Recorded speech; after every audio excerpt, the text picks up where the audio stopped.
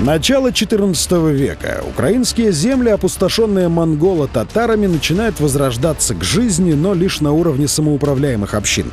Князья правят только в Галицко-Волынских землях, а в центральных регионах некогда могущественной Киевской Руси народ не доверяет отдельным представителям шляхты, выжившим после нападения Орды.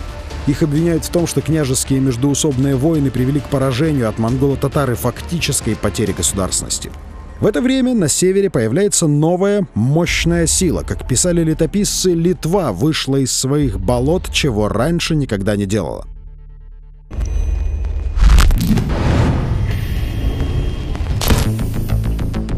Литовские князья во времена рассвета Руси были данниками Киевского престола, но Русь пришла в упадок, а литовские племена, наоборот, закалились в постоянных войнах с Тевтонским и Ливонским орденами. Поэтому, когда почувствовали в себе силу для экспансии на земли соседей, двинулись на юг. Их вассалами стали лукомские, дорогочинские и берестейские князья. Летописец писал, правители Литвы захватывали земли не столько силой, сколько мудростью, где уговорами, где щедрыми дарами, а где-то удачными браками с местной элитой. Ну, зникла Київська Русь як державне утворення, окремі нащадки э, киевских князей. Когда исчезла Киевская Русь как государственное образование, то отдельные потомки киевских князей сохранили свою власть в Галицко-Волынском государстве. А остальные потомки перешли в зависимость от литовского рода Гедеминовичей, которые, насколько я помню, происходили из Пинского княжества, то есть из северных земель Киевской Руси.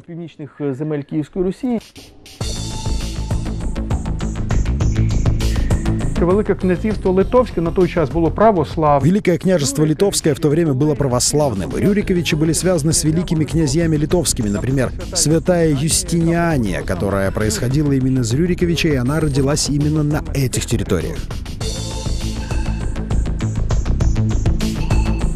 Литовские князья, которые лишь отчасти приняли христианскую православную веру, а часто еще оставались язычниками, встретили на наших землях остатки качественно более высокой культуры. Поэтому почти сразу переняли законодательство Киевской Руси. Знаменитые литовские статуты — это доработанный свод законов русской правды. Переняли и социальную структуру Руси, включая даже название государственных должностей. И в конце концов, местная русинская речь закрепилась на уровне общегосударственной.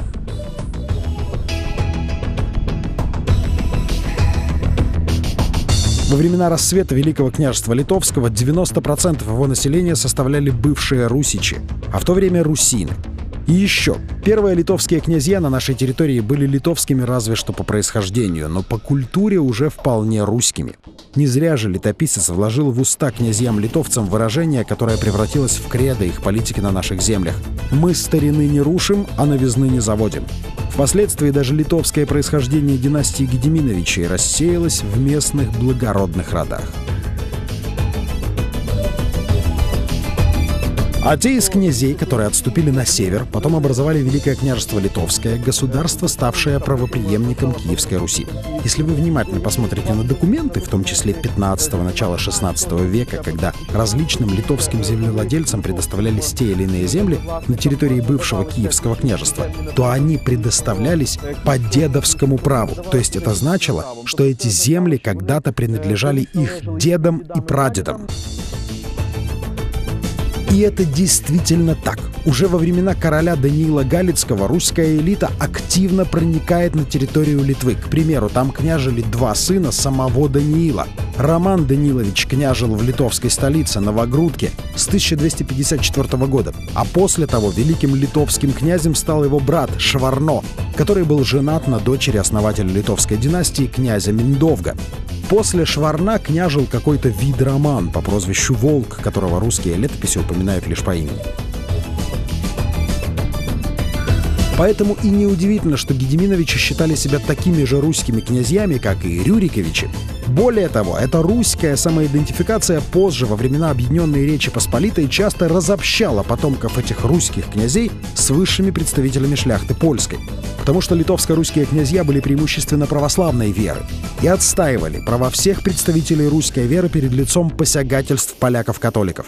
Среди известных защитников православия были князья Острожские, Вишневецкие, Сангушки и другие. Все они были весьма влиятельными лицами.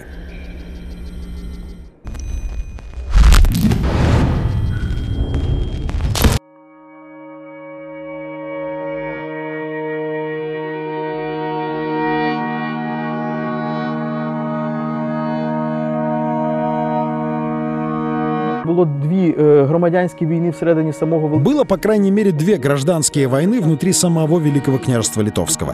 Были потомки великих князей, которые не признавали Кревскую унию, и они попытались выделить бывшую территорию Киевского и Подольского княжеств в отдельное княжество Литовское, Руськое и Жемайтийское, которое должно было стать независимым государством. Но в результате ряда поражений от этой идеи отказались. Однако Кревская уния была подписана только в 1385 году. По ней Великое княжество Литовское объединялось с королевством польским, благодаря чему образовалось единое государство — Речь Посполитая. Но что же происходило за столетия до того? Как случилось, что за столь малый срок уничтоженные монголо-татарским нашествием русские земли смогли стать основой для такого мощного государства, каким было Великое княжество Литовское и Русское? Зауважимо принагідно, що сусідня Москва Заметим попутно, что соседняя Московия только за пять лет до Кревской унии, а именно в 1380 году, формально сбросила монголо-татарское иго. Об этом поговорим чуть позже. Но ордынская оккупация, собственно, и была той большой проблемой, которая объединила русских и литовских князей сначала в коалицию, а затем и в единое государство. Еще в 13 веке совместными усилиями литовские и русские князья неоднократно громили войска монголо-татар. В 1263 году на реке Припять, в 1276 на речке Окуневка. С тех пор татары утратили власть над западными и северными русскими землями. Однако окончательно литовско-русское Великое княжество освободилось от Орды после битвы на Синих водах. Все точки над «и» расставила Синеводская битва, когда один из темников Золотой Орды, Мамай Кият, поддержал великого князя Литовского и присоединился к нему со своим половецким войском. А Мамай Кият был половецким темником. Половцы, по одной из теорий, считаются предками украинского казачества. Так вот, Мамай поддержал великого князя Литовского, и это помогло последнему победить других темников Золотой Орды.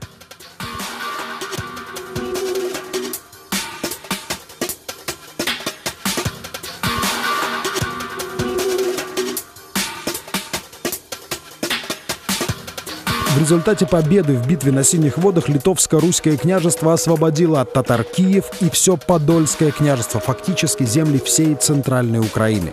Герой этой битвы, темник Мамай Кият, больше, конечно же, не вернулся в Орду. Он осел на наших землях вместе со своим войском. Известно, что его внук Олекса Мамай уже был христианином и получил от князя в удел город Глинск, который сейчас находится в Полтавской области. Собственно, от этого Олексы Мамая и пошла благородная династия князей Глинских. Княжество Глинских, собственно, и стало таким пограничным буфером против нападения отрядов Золотой Орды. На этой тяжелой пограничной работе князья Глинские настолько укрепили свой авторитет и свою власть, что распространили пределы княжества аж на правый берег Днепра.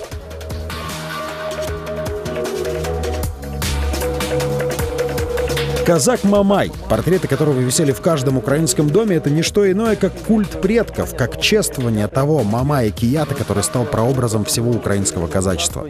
Но это был реальный человек, основатель этого глинского княжества на землях полтавских, черкасских, то есть на исконных казачьих землях.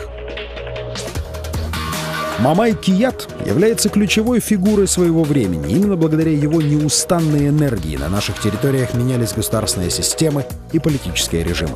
Начнем с того, что родовыми землями половецкого рода Кият было все Северное Причерноморье, включая и Крым.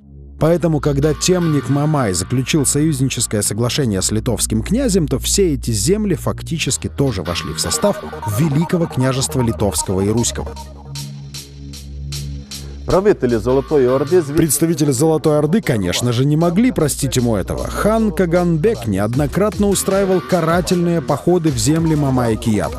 И основной ударной силой в этих походах были дружинники князей московских и нижненовгородских. Именно благодаря карательной экспедиции московитов Мамай потерял земли булгар. Поэтому Московия была для союзников Мамая и литовско-русского князя Ягайла заклятым врагом. Это нужно знать, чтобы разобраться в еще одной большой фальсификации россиянами нашей общей истории, а именно в Куликовской битве, которая подается российской историографии как момент освобождения Московии от татарской зависимости.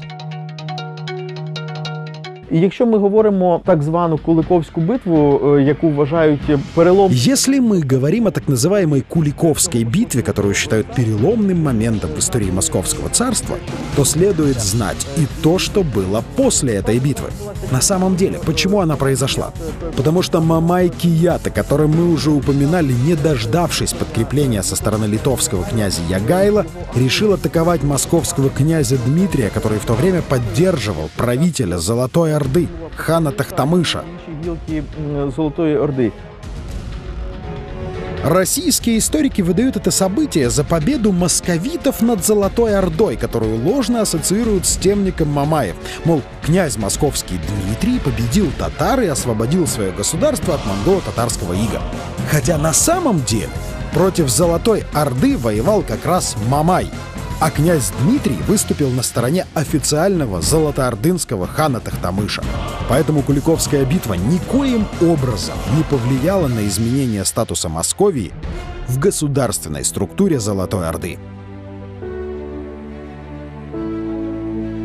Они и дальше оставались провинцией этого стареющего государства. Тем более, что на самом деле князь московский Дмитрий и не победил в Куликовской битве.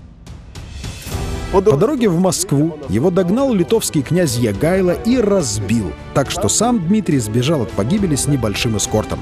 Большинство дружинников московского войска полегло, а обозы достались литовско-русской армии Ягайла. Но это уже тема для следующей программы. А А пока помните, что каждое явление имеет свои «за» и «против», свои «про» и «контра».